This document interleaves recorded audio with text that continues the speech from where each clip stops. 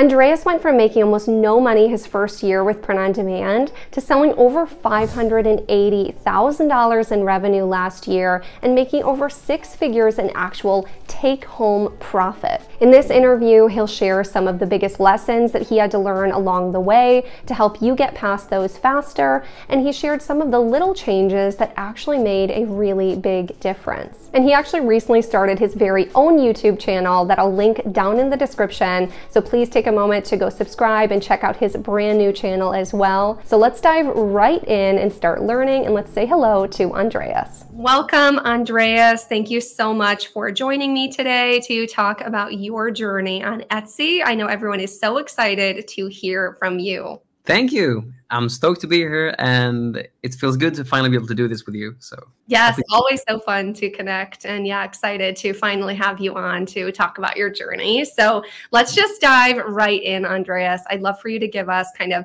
a quick intro about you and your journey to finding print on demand because this wasn't just always your dream, right? This was a vehicle to kind of get you somewhere else. So, why don't you talk to us a little bit about your beginning journey with this?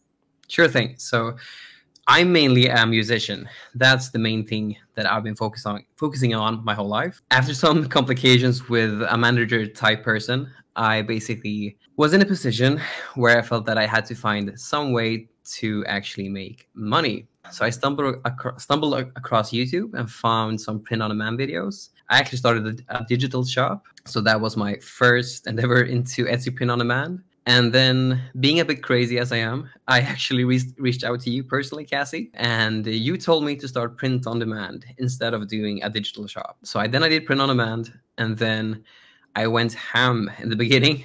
I did 500 listings a month, and I haggled you even more to, to try to because I really wanted to learn from someone. So I haggled you to start a to sort of start a mentorship. Uh, it took about a couple of weeks to get my first sale and to get myself from the ground up but for quite a while i did like five to yeah about like five to 10k in revenue each month. And that was i lived off of that because i went ballistic.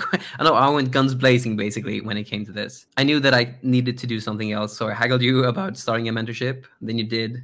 And when i did that things really started ramping up. So i went from like 5 to 10k a month to with a 20% net profit margin in just a span of a couple of months. I went from five to 10k, but I think I doubled and uh, yeah, I'm pretty sure I doubled and tr then tripled my order value each month. So instead of just doing 5 to 10K, I was doing 15 to basically 30K each month and doing regular months, excluding Q4. Yeah, I think that is a really great kind of ramp up of beginning and getting going and then ramping it up. And that's awesome. I know you said you went ham.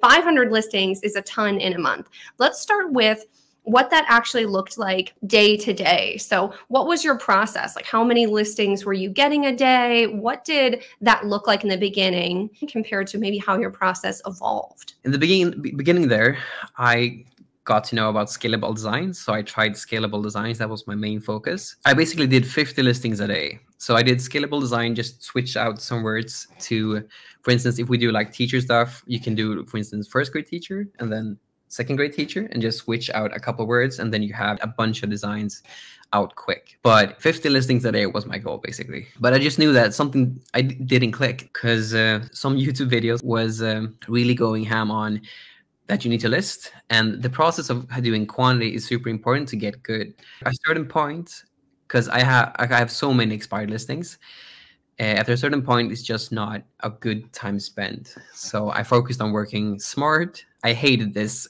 in the beginning to hear working smart instead of hard, but I basically worked smart instead of hard. So I started learning from you, Cassiy. The community that was that that, that you built within the mentorship was super valuable because you could just hear other people's struggles, and then from learning from what other people experienced when that happened to me, I was already kind of ahead so I knew what to do when stuff happened. The process was basically doing 50 listings a day until I kind of realized that I just need to revamp my store in order to grow. Not do more of the same, but to almost none of the same and just do a little bit stuff stuff a little bit different. Yeah, absolutely. So in the beginning you were doing 50 listings a day and kind of just throwing things at the wall, but then eventually you learned that you needed to be a little bit more intentional with your listings, pay more attention to the details. And what were some of those details that you paid more attention to? Was it the research? Was it your pricing? What did kind of that kind of more fine tuned, working smarter look like for you?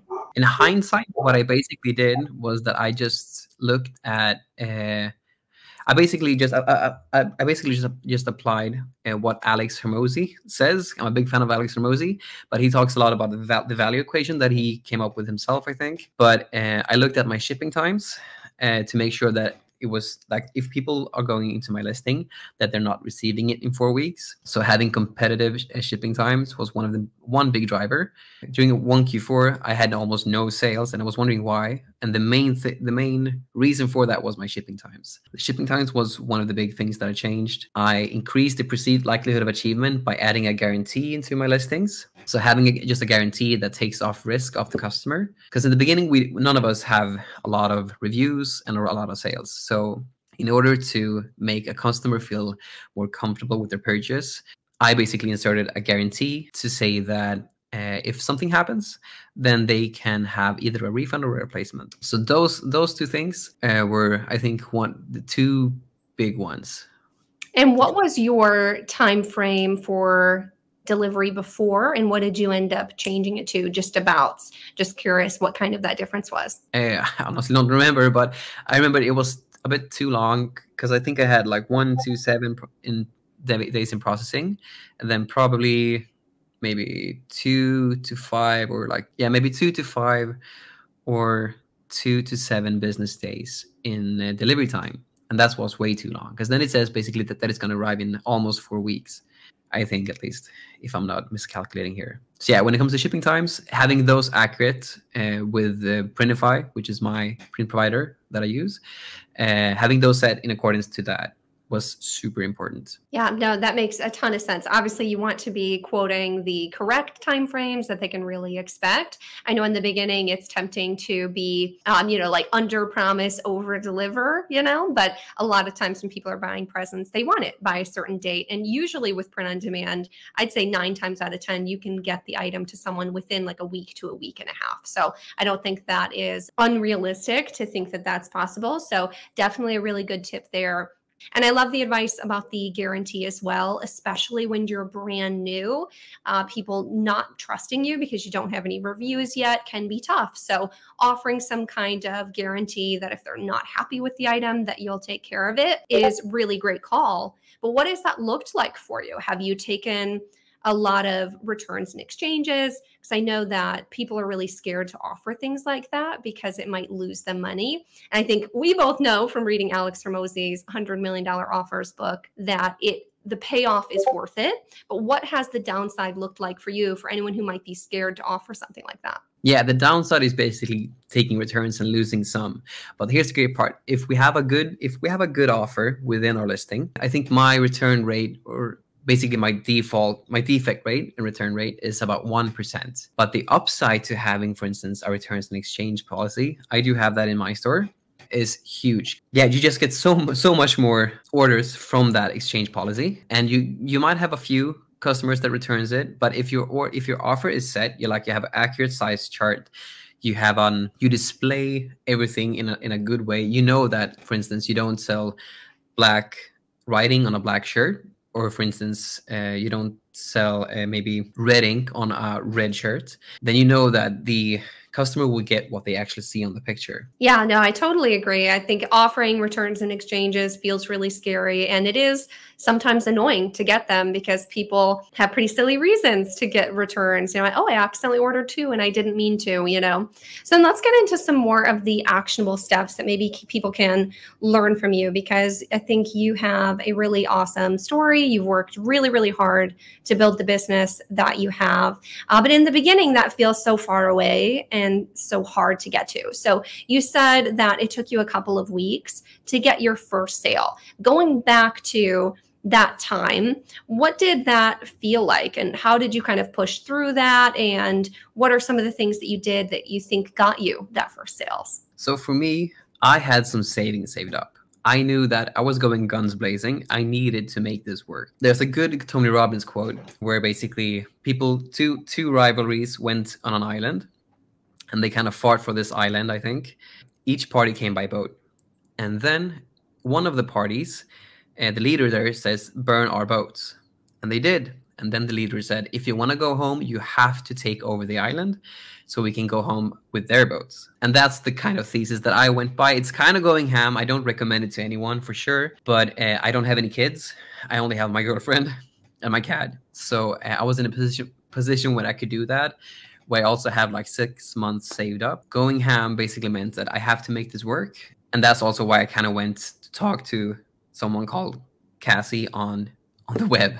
so my biggest recommendation is basically have something that makes you for, for, me at least having something that that made me really focus to having to make it work was one of the biggest things that actually made it work let's dive into maybe some more of the specifics. If someone wanted to kind of replicate the success that you found, what types of products do you sell in your store? So I do a, a couple of different th- different things. I believe in in just if you have a because my approach basically there's different approaches to this, but if I have a design that sells on one thing, you could probably sell it on another for instance, if I sell something on a mug, for instance, it usually doesn't sell as good on a t-shirt. And vice versa. So uh, mugs, for instance, and uh, t-shirts are stuff that I sell, but I try to broaden myself as much as possible just to try different products all the time, but based on data. Okay, so you've tried some different types of products over time, but the t-shirts and mugs are what you found kind of most of your success with. Those are definitely my biggest sellers for sure. Okay, yeah, that makes a ton of sense. And what has that looked like for you niche wise? Do you have a niche store where you sell mainly just one niche in your store, or have you kind of gone more the general niche route where you've sold lots of niches? So I've tried a bunch of different things, but I'm still a Cassiy alumni. So um, I've definitely gone the general store way. My whole thesis was that I, I'll have to get your results and then I can iterate on that but i have to learn from you. So and from the when i have like those results then i can iterate. So i don't want to talk about specific niches but i basically use EverBee to research. I've tried a bunch of different things. So uh, i do i do i add some niches but my main thesis now uh, where i am at the moment is that based on my own data i, I have my own set of niches that i know are selling re- really well that i'm kind of getting established in and then I can just add new stuff to those niches that I'm already in. Yeah, that's where I'm now. But in the in the beginning, I was just trying different things based on basically based on on what you taught me. So I tried to do teachers, nurses. I tried to do what else? I did a lot of Christmas stuff in the beginning. I did so much Christmas stuff at the beginning, and nothing worked in the beginning. Uh, but I basically tried just a bunch of different things until I find found something that worked, yeah, so it sounds like when you first get started, try quite a few different niches just to find what works best for you. And then when you start finding success in a niche, to really double down in those niches and make different versions, do sub niches or cross niches, and really kind of dive deeper into those ones. And so I think it is interesting that the process in the beginning can look very different than it does you know in the end. And i think that's a beautiful thing. You know when you're starting to build your business it's so much learning it's so much grinding it's so much work but it doesn't look like that forever. And i think that's really cool because looking at the results that you had in your store last year, Andreas, why don't you tell us a little bit about how much you sold last year and maybe how that has kind of changed things in your life? So last year I sold $580,000 uh, on Etsy with about a 5% conversion rate. And what that basically means is that you don't have to do that much work if your com- conversion rate is high. Because you can just, for instance, there are shops that have like 20 listings. I'm not saying that everyone should list 20 stuff and expect 600K in a year.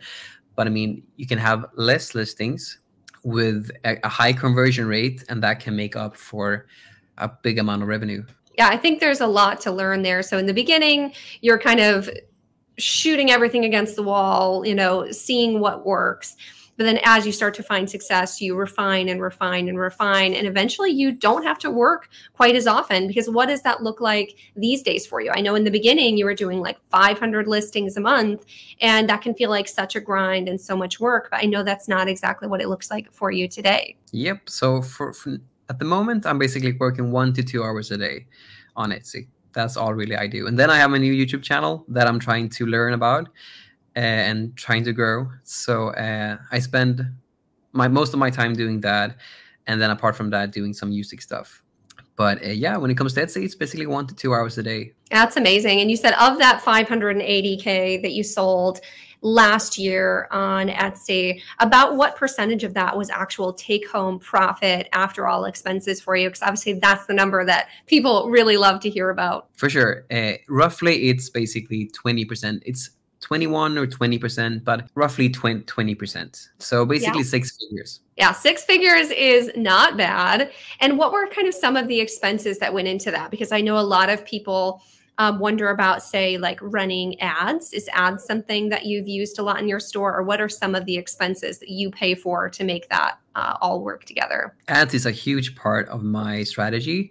Uh, Stephen from Hello Custom, that also has a YouTube channel, his ways. I implemented a lot of his uh, teachings last year, and he is a big proponent of ads. So I spend about what is it? I think it's uh, like my gross margin when I sell something is around 30 to 40%. I think it's around that at least. But my net margin for sure uh, is because uh, I base that on my accounting, but that's about 20%. But when it comes to Etsy ads, it's about, I think, 11, 9 to 11% is my ad cost of my revenue. So basically, uh, of, of my gross profit, of my revenue that I make, 9 to 11%, I think, was my uh, ad cost for the um, for the ads, and then after that, I have my take home margin. Yeah. No, that makes a ton of sense. So, if you were to give us some actionable takeaways of if you were starting back over with ads today, what are some of the advice that you'd give someone trying to get started with ads to find success with those? Yes. So, one of the biggest things is that I think Etsy has really mislabeled the what a budget really is because it feels like if you put like X amount or like five hundred dollars per day, it feels like it's gonna spend that like with Facebook ads. But when it comes to Etsy, it's pay per click. So if no one is clicking on the on the uh, Etsy ad, then you don't pay anything. That also means that we can have a really high ceiling. The ceiling is basically the budget. So we can have a ceiling of like a thousand dollars, which is the max. And then uh, we can give us ourselves the highest likelihood of just boosting listings. So the, the the biggest tip that I would basically give someone is that don't be afraid to use it. If no one is basically clicking the ad, then you don't pay for anything anyways. But I would also have a big caveat to that, which is if the SEO isn't super targeted, like for instance, if we sell a flamingo shirt, but it says bird shirt, then it kind of confuses the Etsy algorithm because then you will also be advertised on Birdshirt. And if people look at Birdshirt and they click your listing, you pay for that. So if the SEO isn't correct and it's not super targeted towards the thing that you're actually selling, then it can be costly. But not if you're targeted towards the niches that you're towards the thing that you're actually selling. So my biggest tip is that if you're doing if we're doing Etsy ads, then we really got to be be super highly focused with our uh, with our um, SEO. So not include, for instance, if we sell a flamingo shirt, we sell a flamingo shirt, not a bird shirt. We only use flamingo within our title. And apart from that, is don't be. I, I wouldn't. I wouldn't be afraid of because I was afraid of this in the beginning, but I wouldn't be afraid to have like a thousand dollars a day on my budget. I have that, and I don't spend nearly as much as that now. But having that ceiling, if something, for instance, hits and kicks off, it gives a really it can give a really good boost to a listing. And as long as our SEO is targeted, I would not be afraid to just have a good high ceiling on our Etsy ads budget. Yeah, absolutely. And what does that look like actually running ads? Do you run ads on every new product that you post, on only what's selling? Which listings do you decide to run ads on? So I basically run ads on my. This also comes from Steven from Hello Custom. His his strategy but when we basically list our items, we, um, uh, oh, sorry, when, when I basically list my items, I can basically push them with ads. That basically gives them a higher likelihood of, of selling just because they are pushed out right away. So I list my items with ads on, and I do that until I spend about ten dollars. When I've spent $10, I can see if it, it has hit the return on ad spend that I want. Then I keep it on. If it hasn't, I just turn it off. Okay, that's, so that's about the threshold that you use. No, I think that's really actionable, really great. And I think a good reminder that Etsy ads aren't just a saving grace, that if you just throw anything up on Etsy and run a thousand dollars a day in ads that you can get sales. I think Andreas really stressing the importance of making sure that your SEO is really tight. It's very specific. You know, if you really do your research on how to do SEO, look at what other successful listings have done, replicate that, make sure that if someone types something in, really think, am I going to be exactly what they're looking for when they type that in? And is there a good likelihood that if someone typed this into Etsy, would they click my listing and want to purchase it? And I think that's really important. But I don't think that's the only aspect. Obviously, there's your shipping times, there's your photo cards, like we've talked about. I think one of the biggest things we haven't touched on just yet is the designs. You know, without a good design for the item, no one's ever going to click it or buy it in the first place. So I'd love to hear what that process has looked like for you for designs you know, were you pretty great at designing in the beginning? Do you have any experience with design? Or what does that process kind of looked like for you over time to get good at designing things for what people actually want? So for me, I am a creative person, but I'm a musician. So when I started this, I couldn't do anything.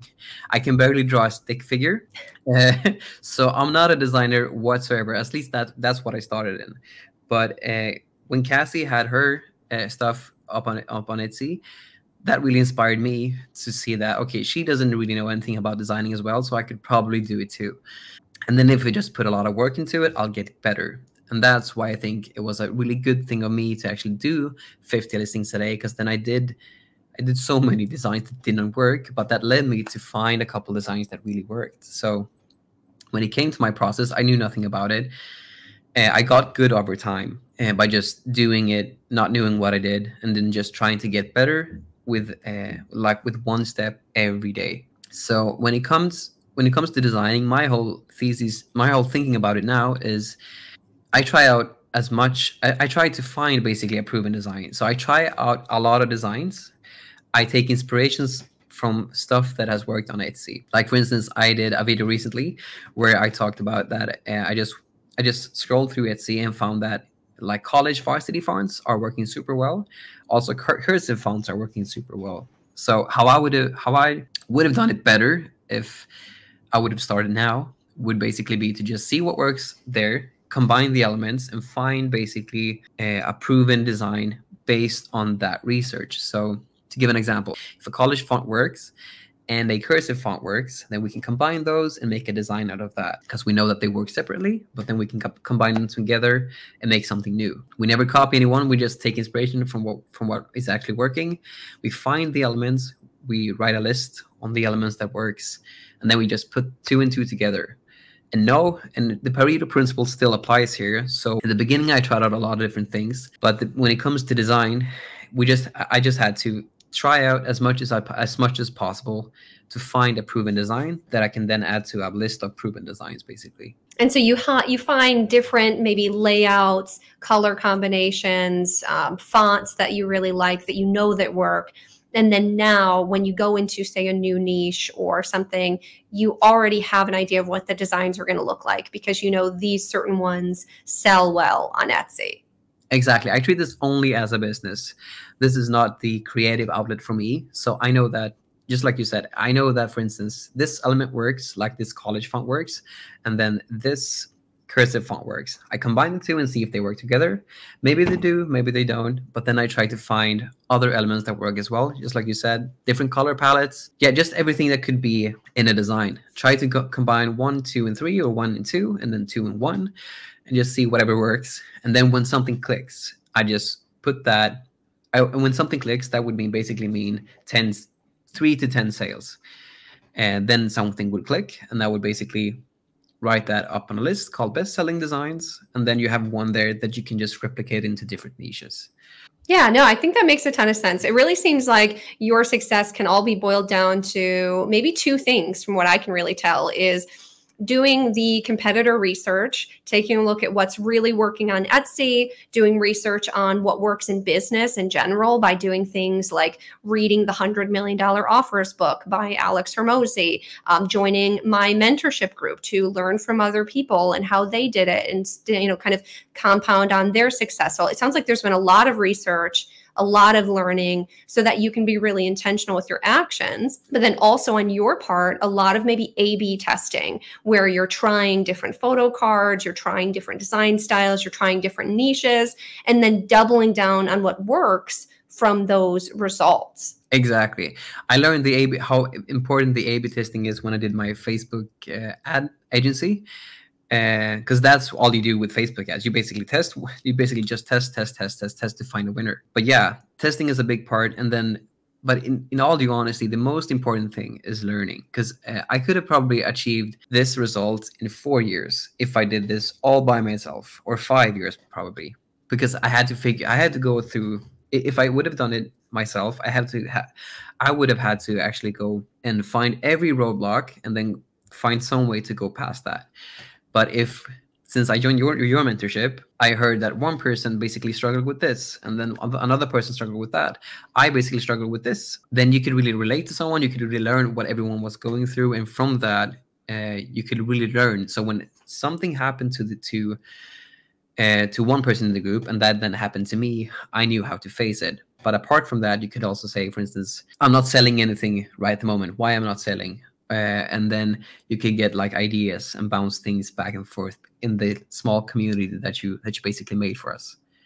So one the biggest takeaway in my opinion and this is not in any way shape or form a plug but it was it was actually the mentorship. I even am now paying for a super expensive course uh, on how to do youtube because i don't know how to do youtube but I know that if I want to learn this fast, I can either pay this with time or I can fast track it with money. I will still have to pay it some time, but I can pay with less time and just some money to be able to fast track it. No, and I definitely couldn't agree more. I think, you know, I went through my own mentorship program with the life hacker couple when I first got started, and I found a lot of the really exact same benefits. And so when you asked me to create one, I thought it was a great idea. So I feel like we have a fun kind of intertwined story of kind of how things have gone for us. I'm really excited for you to be on YouTube and starting this journey now. And what I think is interesting is there's a lot of exact parallels. You have to do a lot of the same learning, a lot of the same A B testing, you know, a lot of the same types of research. You know, any business that you start, really these skills that you're going to learn building your Etsy store can be applied. You know, the fact that you learn things from when you were doing Facebook ads, it kind of brought that to Etsy. All of this is business. And I think looking at it as anything else is going to give you a hard time. You know, like you said, you know, trying to like be unique or be creative with your designs. If it's not based on research, if it's not what someone is already looking to buy, then you're not going to get sales. And so I think that was really good advice to make every decision that you make for your business based on the research and not what you like or what you want to do. And it takes time. I mean, you didn't start making six figures a year right away, you know, and I don't think that's what you were expecting to do either. You know, obviously it'd be great if we all made six figures our first year on Etsy and print on demand, but most of us had to go through hours and hours and months and months of trying things and learning things to get where we are today.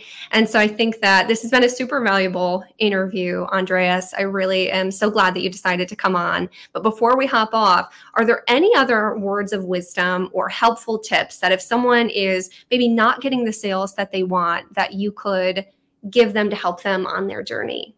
If I had to boil it down to one thing, it's basically if your expectation is to make it work uh, as a business, then you have to treat it as a business. You can't treat it like a hobby and, and just do it do it once in a while.